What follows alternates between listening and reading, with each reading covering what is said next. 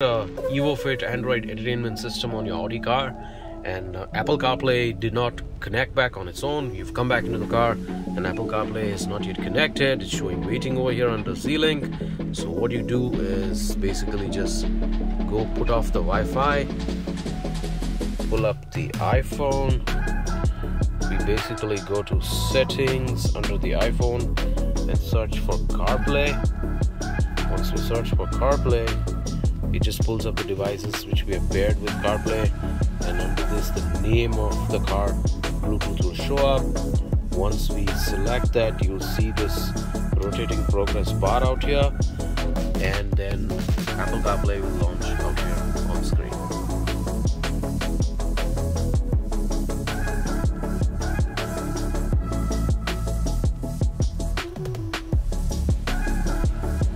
Alright, so you a wireless Apple CarPlay right now. It's not connected to anything.